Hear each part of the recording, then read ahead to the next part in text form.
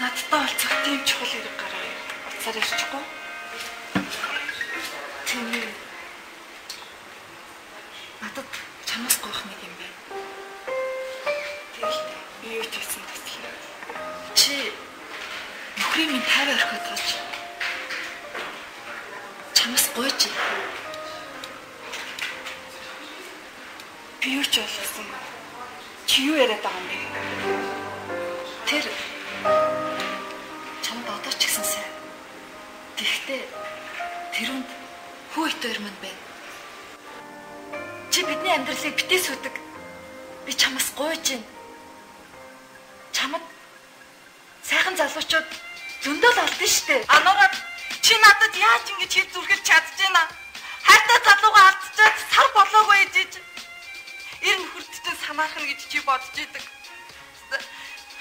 Шал зүй хүрчлээ. Чи тайван байна. Би дуусаагүй. Надад чиний наад утгагүй өгнүүдийг чи сонсох хүсэл алга. Чамайг доромжсон алга. Надад ч гэсэн хэцүү юм. Миний ир нөхөр хастагийн өглөөс хойш огт өөр хүн болчиход байна. Хастагийн өглөлийн буруутныг олох гээд хүйтэрэгч тоохгүй. Тэр гайтай өдрөөс ч хойш бит хоёр нэг ч өдөр хамт хонсонгүй. Тэгээд түрүүн би хоёрыг хараад яагаад хастагийн өглөлийн буруутныг олох гэж дөрвөө бүх шиг хүйтэрэгч тоохгүй зүтгээд байгаа учраас ойлгосон. Чамаас гой биднийг тайван орхиоч. Та нар шиг баян чадaltaй улсуудын дараачийн золиос нь миний хүүгийн эцэг би хүсэхгүй. Хүсэхгүй.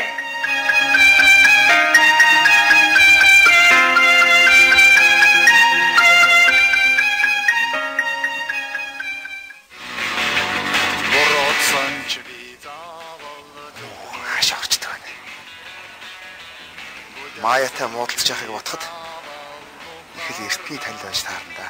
Та намайг битээ шоронд хэлдэг. Та намайг эндээс хаашаа чамаагүй. Хаа чамааг яваад байдаг. Та чадсан шүү дээ. Би танаас гойж өгөх. Тэгвэл би амьдралдаа таны ажил тусыг хэзээ ч мартахгүй. Манай найзыг алсан алуурчны бөөнд байвал яах вэ? Яв яа одоо битээ. Намайг би ч юм нэрээ нэг нууц ярих. За. Намайг гэсэн үргэлжлэх юу гэж шүү дээ. Тий. Тэрийг үлхийн боомод манай хэрэг байна. Нэрээ маха.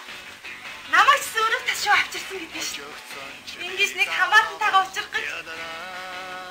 Чи ч дөнгөн тоглож байгаа чи юм үргэлжлээ.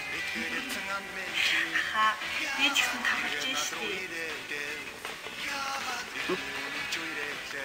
Мохон гүжиг. Гүжиг. Айхлаа тарич. Бигрийн халуун хайрчин өнөөдөр гинт над руу тэмүүлээ Бигрийн халуун хайрчин